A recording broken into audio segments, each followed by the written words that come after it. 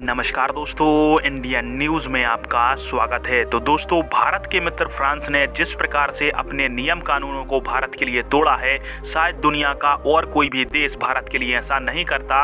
और इसी को लेकर हमारे डीआरडीओ के चीफ की तरफ़ से बहुत बड़ी जानकारी दी गई है। तो चलिए इस वीडियो को स्टार्ट करते हैं और जानते हैं कि मित्र फ्रांस ने अपने लिए क्या किया है। तो दोस्तों डीआरडीओ के चीफ जी सतीश रेड्डी साहब जी की तरफ़ से भारत के स्वदेशी इंजन को लेकर बहुत बड़ी बड़े खुलासे किए गए गए हैं, जिसके अंतर्गत उन्होंने बताया कि भारत को जिस प्रकार का हाई थ्रस्ट और एडवांस टेक्नोलॉजी वाला इंजन चाहिए प्रेजेंट टाइम में वैसा इंजन पूरी दुनिया में कहीं पर भी उपलब्ध नहीं है, क्योंकि भारत की जो कंडीशन है, वो बहुत ही क्रिटिकल है, जिसके चलते यहाँ पर दुनिया का बेस्ट पावरफुल इंजन भी कम से कम पावर जनरेट कर पाता है। इसलिए भारत स्वदेशी इंजन की तरफ़ आगे बढ़ रहा है, जो कि भारत में ही बनकर तैयार होगा और इसकी जो तकनीक है, पूरी तरीका से भारत में ही डेवलप करी जाएगी। अब दो दोस्तों मित्र फ्रांस की जो कंपनी है सेफ्रॉन, वो भारत को इस इंजन को डेवलप करने में मदद कर रही है। परंतु सेफ्रॉन ने यहाँ पर बहुत बड़ा बलिदान दिया है भारत के लिए। और वो बलिदान यह है कि फ्रांस की कंपनी जो सेफ्रॉन है, वो भारत के इंजन में लगने वाले जितने भी छोटे से छोटे से लेकर बड़े से बड़े पार्ट हैं, उनको भारत में ही उत्पादित करने के लिए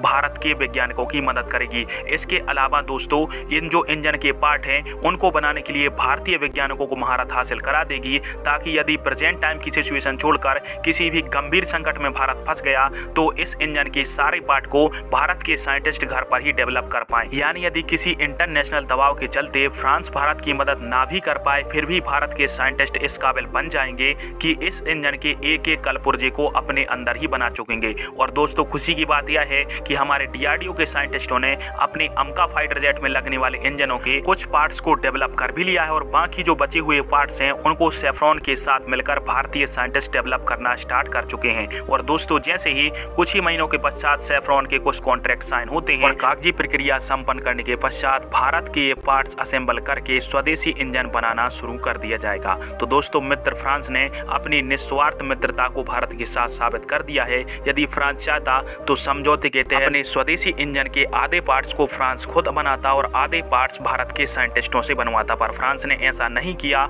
और सारे पार्ट्स बनाने के लिए भारतीय वैज्ञानिकों को महारत हासिल करा दी। है है। दोस्तों, इससे होगा यह कि हम किसी भी मुसीबत के समय जब फ्रांस हमारी मदद नहीं कर पाएगा तो भारत खुद का इंजन खुद ही बना पाएगा। बाकी दोस्तों, फ्रांस की इस निस्वार्थ दोस्ती के ऊपर आप सभी की क्या राय है? कमेंट बॉक्स में पीटा बस्ती जी का वीडियो देखने के लिए धन्यवाद। जय हिंद, वंदे मातरम।